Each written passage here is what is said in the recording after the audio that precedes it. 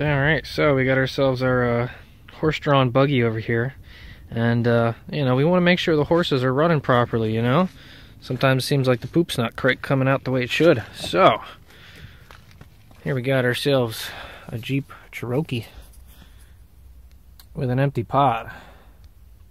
Can't have empty pods, especially with a stroker. So today it's time to fill it. Up for install today is a wonderful AEM wideband oxygen sensor and gauge install. So this is the X series. This is the cream of the crop, fancy new fangled technology. Take a look at this, huh? So this here is a wideband oxygen sensor gauge, or a universal, uh, what's it called, a UEGO or something, a universal exhaust gas sensor, something like that. It, it's basically a fancier oxygen sensor. It, it shows you um, a full sweep. It's it's laboratory grade. It, it, gives you an actual number instead of just a goofy a goofy voltage that kind of represents somewhere around um, stoichiometric. Uh, but the reason why you'd want something like this is for keeping an eye on your engine, especially when you're doing tuning and stuff like that. You want to make sure that you're within spec. Because when you start messing with injectors and engine size and tunes and stuff like that, you want to make sure you're not running too rich or too lean, or you just want to see what the heck the thing's doing. Well, this is it. So, this whole kit is a gauge, and first off, look at how thin this thing is. That is the entire unit. This is a gauge, an electronic gauge and controller for the wideband sensor. So I guess we'll get right into the sensor. This right here is our wideband oxygen sensor. So it'll give us a voltage. Um, the gauge is needed to actually run this thing. You can't just hook this up. You need some kind of controller to run the gauge, uh, to run the sensor. So it'll plug into the back here, and this will take care of all the dirty work to get the sensor's uh, readings. And then from this, we can also get uh, analog outputs so that we can log it and, uh, you know, just check it out on the screen and stuff like that. But yeah, it looks just like a, uh, you know, a narrowband, but it's a little fancier. We got like six plugs in here. Now, the cool thing with this new setup is uh, this does not require free air uh, calibration anymore. Uh, inside, I forget if it's in the connector or somewhere, somewhere around here, there is an integrated resistor uh, value. Maybe it's that right there. Is that the resistor value? 17 or 1,700 ohms? But all of these are tuned with uh, embedded resistors now, laser engraved or something like that, so that they are set up uh, really ready to go uh, out of the factory. So you don't have to calibrate them anymore like the old style. Now we get uh, this pigtail, which is for power and uh, data lines if you're interested in data. And then this is the extension harness that connects the, the sensor to our gauge. And then we got a couple other things. So we have our, our exhaust bung, we got some uh, some wire clamp thingies, and a rubber band to uh, fit your your actual gauge. But yeah, this is the the whole setup right here. Is uh, this guy. And uh, yeah, it is a 52 millimeter or what is it, a two and one sixteenth inch, whatever like the basically the standard size is. So let's take that out so I can that to you real quick. So why the heck would you want a wideband sensor? Why can't you just use a narrowband? Well, uh, first off, if the name doesn't quite describe it, uh, the wideband oxygen sensors are designed more for actually monitoring the system, whereas a narrowband is really only there to give the uh, engine, uh, to give the computer an idea of where it's at. So with the narrowband, what it does is it focuses on right at the cusp, right where that dividing line is. At you know, for gas it'd be 14.7, 14.65 if you want to get accurate. But what the engine is doing is uh, it'll look for the narrow band and it'll it'll run a little rich, and it wants to see the sensor go high. And if it's high, it knows that it's too rich, so then it'll bring it back down low. And then once it crosses that narrow threshold and it starts to re-lean, it's like okay, it knows where it's at. So the goal is to make the sensor keep bouncing back and forth to know exactly where it's at. And, you know, for the older system, that's great, you know, when it works. But for this Renix business, oh man, it has a hard time getting the sensor to cooperate properly and run, and it's just a pain in the ass. It keeps wanting to fall out of closed loop, and it's just, oh, we're going to do some fun things with this later. I'm going to try and use this as a tuner, and oh, you'll see. Arduinos, man, they're so fun. But with the wideband, instead of just getting that narrow little pass, you get an entire range and it's a it's linear too. With the with the narrow band, it'll you'll you'll see the thing and it goes whoop, and that's pretty much it. Whoop. With this guy, it's a sweep all the way across. I mean, even if you look at this, it goes from you know a uh, you know an air fuel of eight to twenty, which is you know crazy. Usually the narrow bands are a lot smaller. It'd be like you know I'm just kind of guessing here, but like 13 to 15 if you're lucky. So you get you, you just you know you get a lot more range, a lot more accuracy, and uh, these things have really fast response time. This is like one of the fastest responding sensor kits out there. So yeah, this is cream of the crop stuff right here. Um, I guess you guys want a number, don't you? Okay, so in case you're curious, this is the gauge kit right here. It is 30300. So that is this X Series Uego gauge kit. Alright, so now that we got the technical crap out of the way, the it's got like a little a little recess on there on that cup and that recess is what fits in there. So it'll stick out a bit.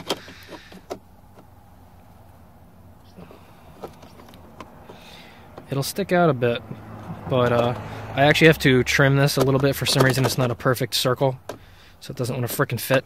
Uh, if your hole's a little loose that's what that rubber band is for. The rubber band is there to give you a little extra friction in case you don't stick. But yeah when it when it sets uh, you know, when we when we get our hole trimmed, it'll sit in there, some something like that. So it sticks out a little bit, but whatever.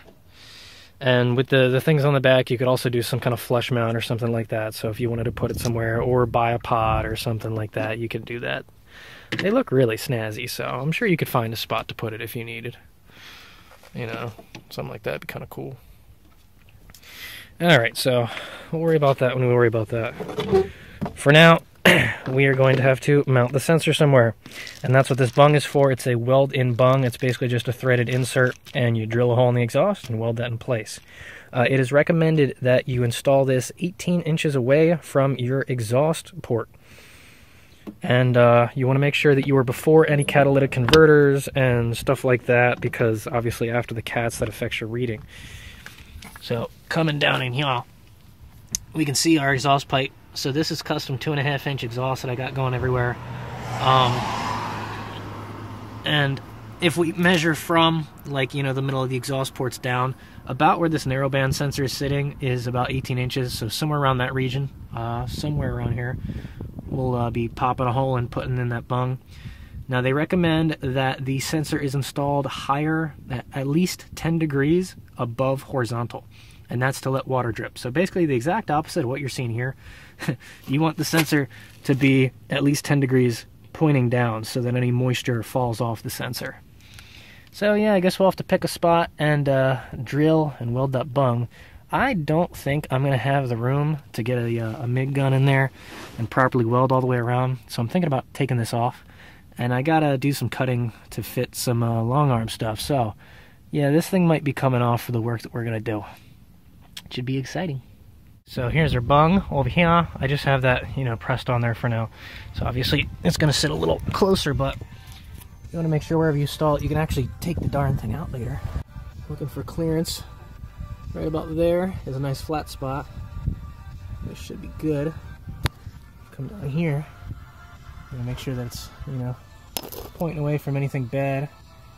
That you gotta be cognizant of everything that moves around and shakes and that this isn't going to hit anything and you can actually get tools in here to take the damn thing out if you need and stuff like that. So make sure you got your backwards room to actually install the thing and all that. So that that's looking right right good right around there. That should be fine. But if you notice the way that everything sits that should be at about our 10 degree mark. So all right I think that'll do. Man, that bung is a big one, so you better hope you got a 7 8 inch drill bit. That's the uh, that's the size of the smaller part of the flange anyway. This little section right here. That is 7 eighths of an inch. So yeah, I guess we're gonna do a little pilot hole and work our way up to that, but uh Jesus. That last little quarter inch is a right pain in the ass to finally get that thing to work. But she's in there now. So we'll just have to do a little welderoo. So uh, before we do that though, I mean obviously we're going to have to clean up the edges so we can actually have something to weld to. But uh, I'm just going to put this back in the vehicle and make sure that the sensor sits where it should. Always check, always check. Alright, so here's the aftermath. My wire speed wasn't up really uh, high enough, so I was getting the amperage I was needing, but I just wasn't, wasn't putting the metal in. So, what I thought looked kind of good ended up not being enough, so I had to do a couple passes, and eh, that part looks pretty shitty, but this stuff over here doesn't look half bad, you know? Could pass for a low-end exhaust shot, maybe. uh, but I shined a flashlight in there, and I didn't see any holes, so we are sealed. Ain't the prettiest, but, you know, what are you going to do? So in case you're wondering, this is the welder I used. That was the settings I was at.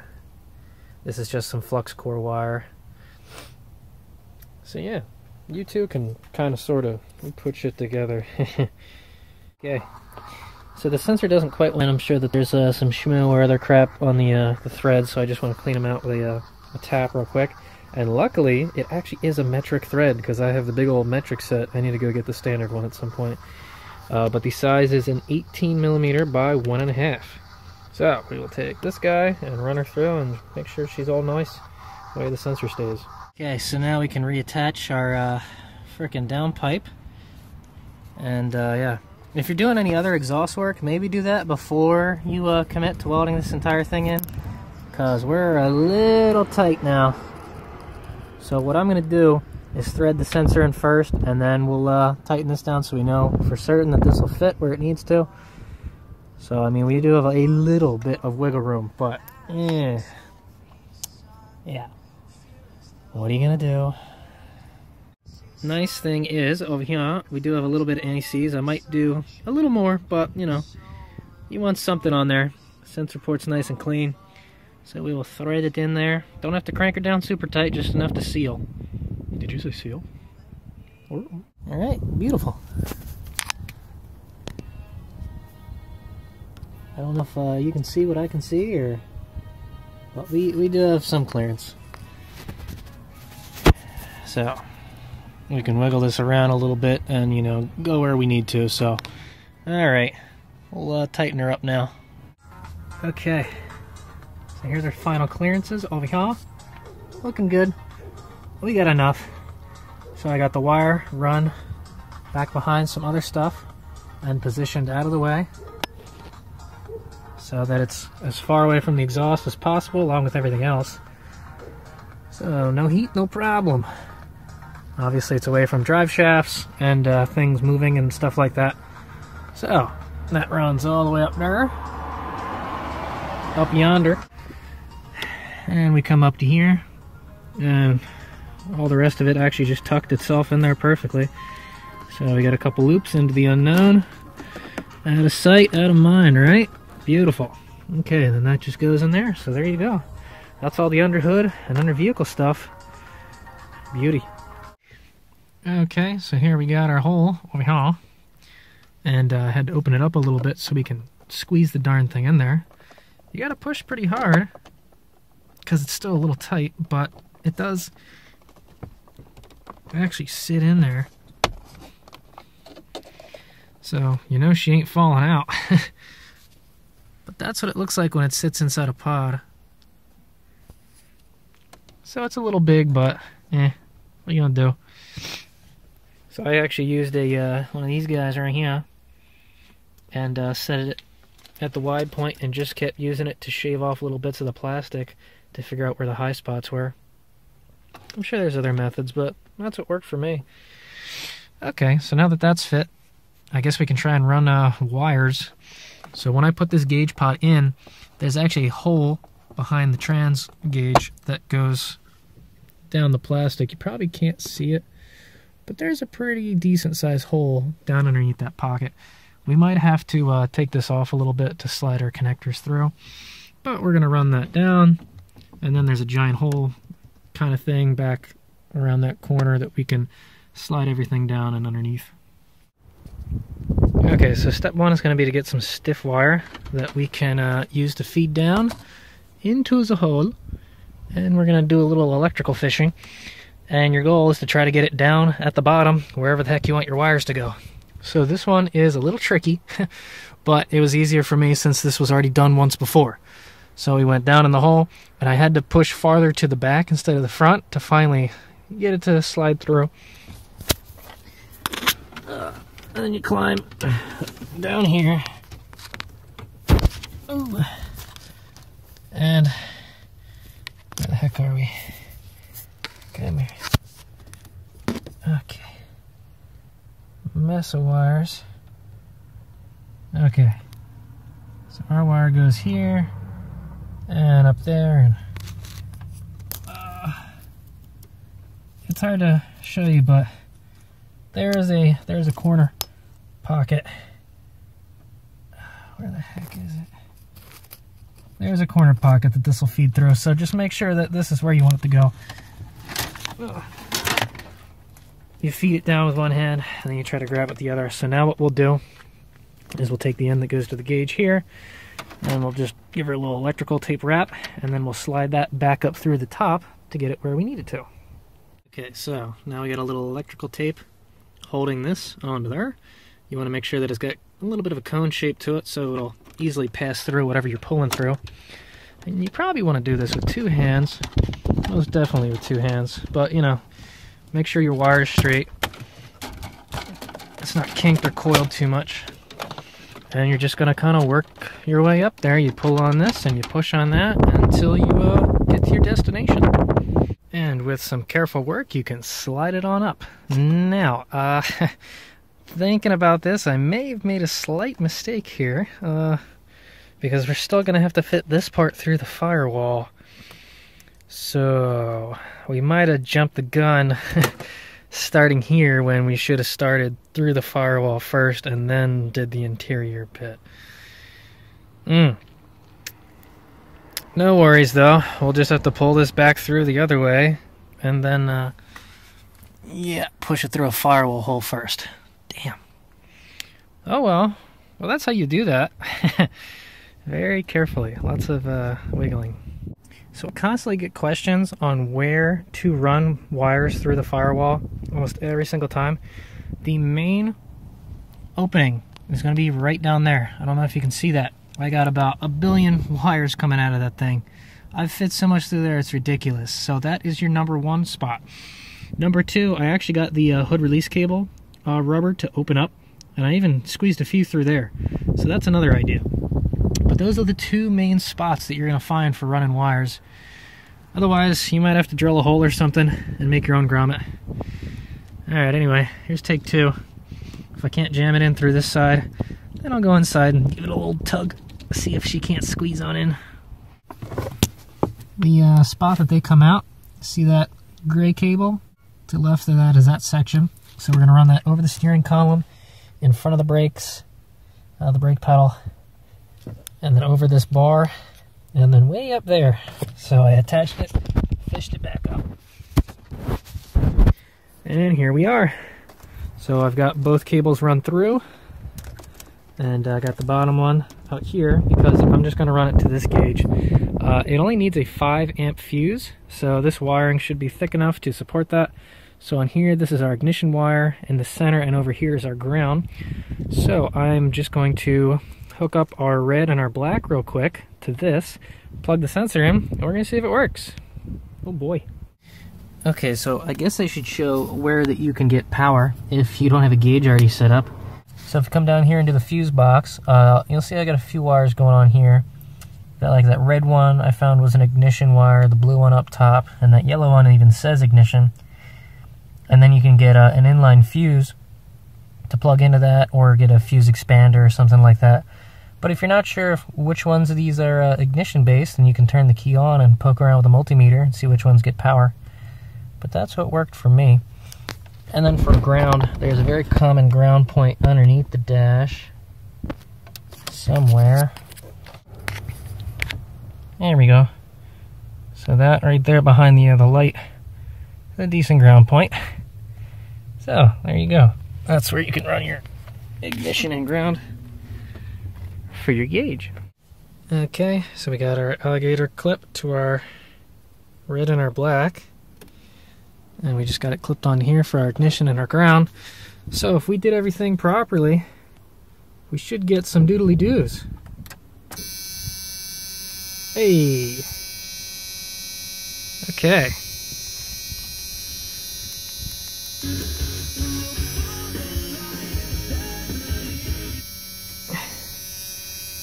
Okay, so it looks like it's heating up the oxygen sensor. That's cool. That's very cool. That's snazzy. So then I guess once it heats up, we can start it and see what the heck she do. Let's see if I can plug my REM in here. Ooh, hey, got a little spinny dinny. Okay, so we're reading like basically zero on our regular oxygen sensor, and this one shows this line. So let's see what happens when we start it up. Ew.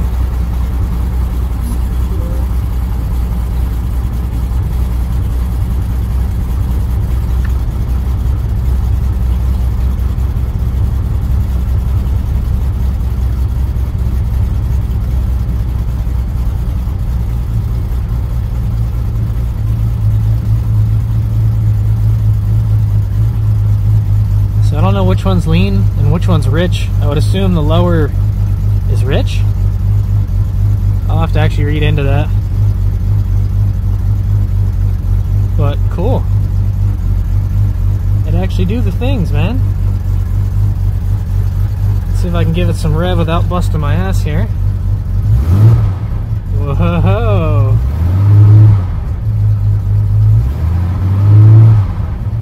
Oh, that's cool. That's cool. I like that. That's awesome. All right. Well, looks like we might be able to use this for tuning purposes. Excellent. Very nice. Okay, so you're now tethered because this phone can't last more than two fucking hours when I'm trying to film. Anyway, we've got two wire terminals on there, little eyelets, because on here we actually have two studs. So we're just gonna do that. I snipped the wires to the length that I needed. We got the red and the black. We don't need the white striped, the green striped, or the blue.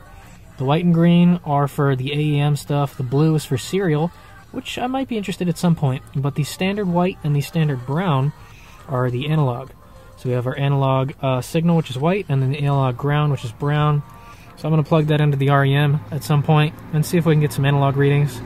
And, you know, I might mess with the serial, but we'll have to convert it from uh, RS-232 to UART to be able to read on the stuff I have. So, and that'll be for later. But anyway, yeah, I just have that a little longer, so I'm gonna run that uh, around back so I can plug into that later. Our terminals are now installed and run through the separate pieces. So everything is hooked up again. We got ignition, we got ground. Let's see, do she work? Yay, it works. Cool. Alright, well, we did it. So now I'm gonna run these wires around back, put this back in, and we're done. That's everything, baby. Yeah, yeah. Alright, so we got them both running. I finally got the oxygen sensor going to closed loop mode so we can see the damn thing moving. I wonder if I can uh, focus this.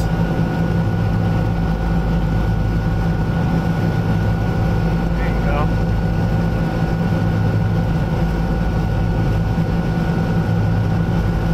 So you can actually see the uh, the oxygen sensor on the REM is actually going high and low, and you can see all the wideband is changing with it. So if you notice a large change in the narrow band is only a small change in the wideband.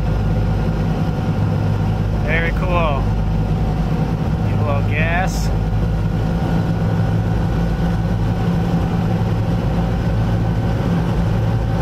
And we'll let off.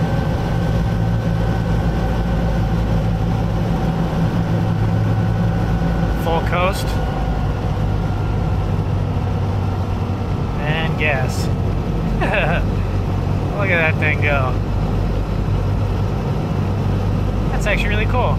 Well, I'm glad I got the Jeep to go into fucking closed loop so we could actually see this damn thing. Very cool, very cool. And now, we even got uh, a little bit of long-term change. So it dropped from 128 to 127. That's nice.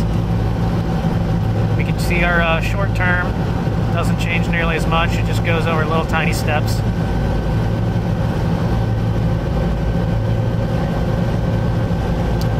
That's badass, man. That is badass.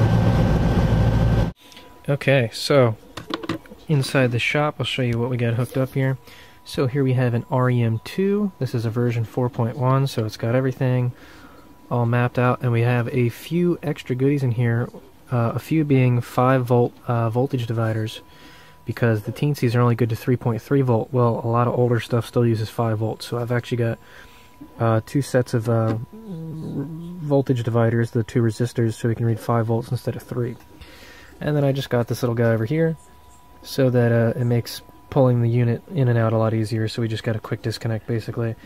So we got that hooked up. I'm going to see if we need the analog ground or if the body ground is good enough. But if not, I have a, uh, a free pin hanging off over there that we can use. Alright, so we got pin A3 soldered for a resistor divider, so that's cool. I'm going to have to do some coding math. But now let's see what those readings mean.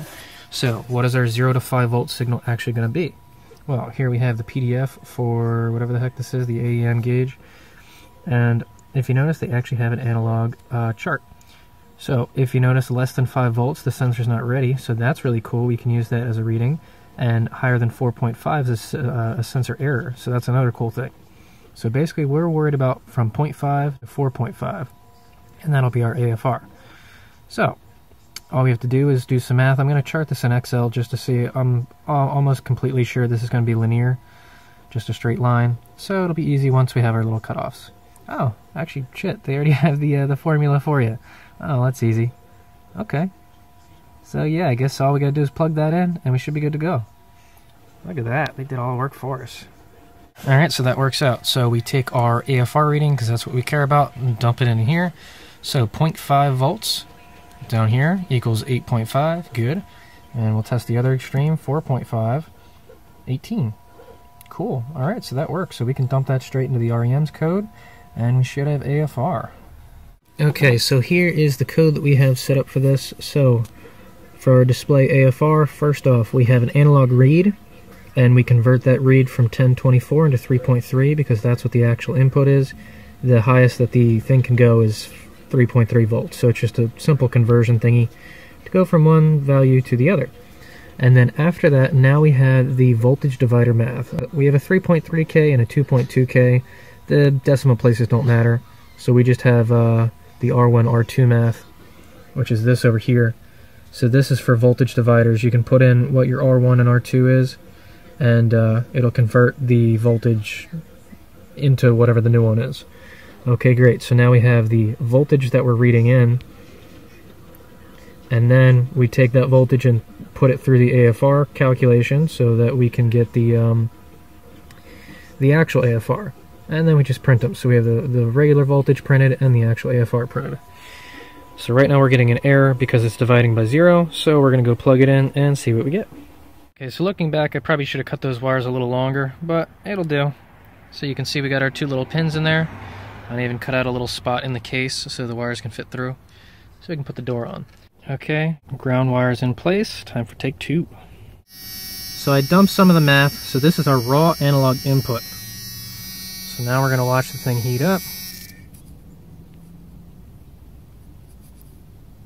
Because I checked with a multimeter and it's definitely outputting voltage. So... Huh, alright, so this says like 16.7. It still says we're only getting a couple... Oh, okay, there you go. Took you frickin' long enough. Now you're reading. Okay, so yeah, we do have voltage on the pin, so our math is just being goofy. For some reason, I gotta figure out why it's reading infinite. Maybe I'm doing too much math in uh, one step. Okay, so now we have our freaking numbers. We have our voltage here, and we have our AFR there. So if you notice in the code, I found out that our um, our re resistor divider thing was causing an issue for some reason. So this was our our math right here, R2 divided by R1 plus R2. So I just put in the numbers and uh, it comes out to 0.6 for mine, which was uh, the 22 and the 33. So I just put that in there, and now that works perfectly fine. So we just got that divided by that, and then we have our voltage. So, cool. Now I think we can actually test this damn thing out. Okay, so now the left number I have multiplied by 10, so there's not to be a decimal. So we can see that it's reading 0 something. Okay. Alright. So if you notice now, it's reading probably 4.5 because there's just no air fuel in the system. But we can see our AFR. Cool. Interesting that it's jumping around though. I wonder if the voltage is moving at all. That's quite a bit of a movement actually. Alright, start it up. Oh baby.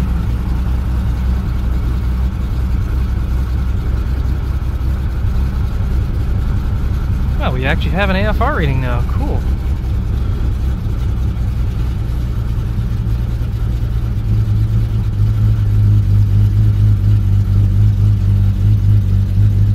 Let's see what that response time looks like.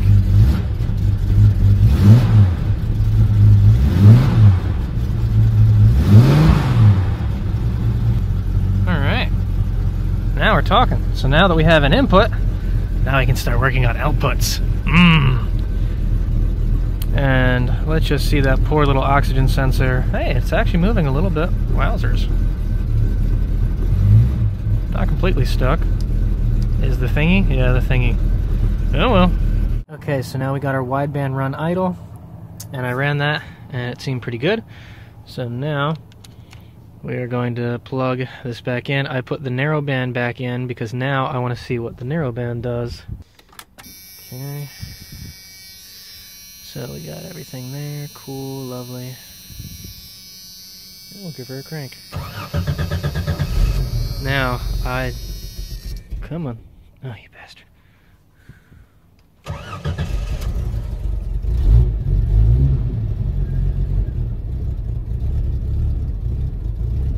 Okay.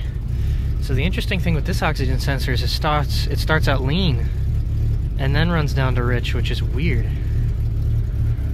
But like we're in closed loop right now.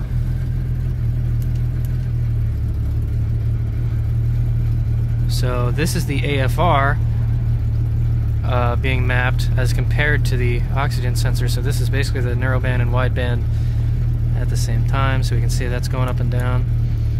Uh, this should be the actual sensor. Okay.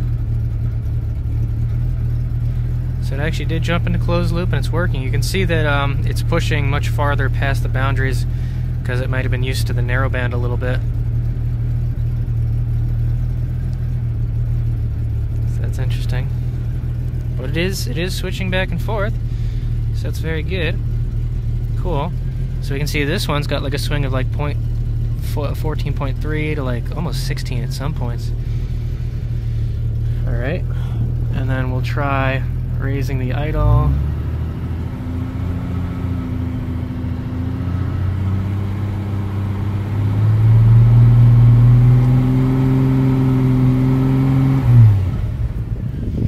Interestingly though, uh, we don't get a backfire with the narrowband. So I'll have to see what that's doing that the other one isn't and see how that changes. So that's that's interesting. Here we got good old Pico again. And now we are hooked up to the blue wire. That is our RS-232 serial output. So all this does is output whatever's on the display. So when we turn this on, we should get a output. So that'll be doing its blinky dinkies. And oh look, we have things.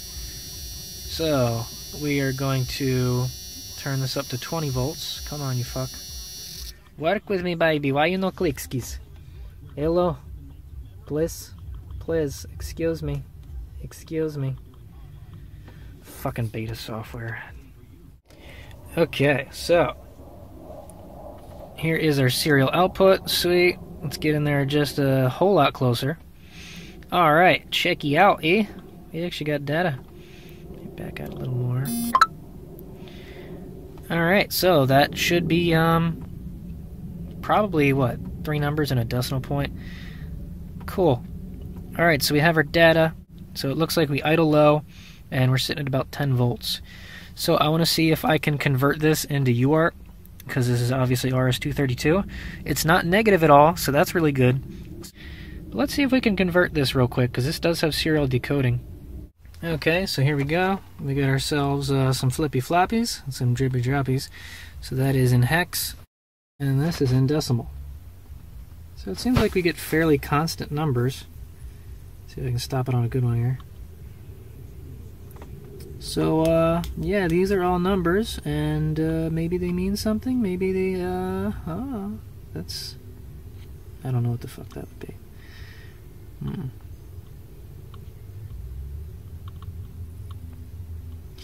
Yeah, I don't know. Again, now we got to figure out the serial protocol and that stuff. It's in the manual a little bit. If we check into here, oh yeah, derp de derp, right. Format is simply the value followed by carriage return and line feed. Okay, so okay. Ugh, see what we can figure out here. Bingo. Okay, I had to invert the data because uh, I guess this defaults to UART instead of uh, RS-232. Interesting. So if you look, it says 99.9, which makes sense because right now this is showing dashes. Cool. And the last two symbols we can ignore because, like they said, this is the slash R and slash N, so that when you're reading this into a, uh, a serial thing, it just it just shows a list. That makes it space and enter, and whatever the heck serial does. So now if you look, it just says 99.9. Cool. All right, perfecto. All right, so now if we start this, we should see numbers that change. I think everything's where it should be, right? Nothing's gonna blow up. Okay, go. So we got numbers there. Look at that, huh? 11.5. Cool. All right, well that works quite nicely. Okay, so if we take a gander here at our output, it's only outputting uh, a value every 100 milliseconds. So uh, that's not really going to help uh, with what we're doing, considering we take a reading every 20 milliseconds. So in the time that we get, um, you know, what is that, five readings, we're only getting one from serial. So is it worth sitting there and building the circuit and trying to read it all in and doing all that to compare it just to see?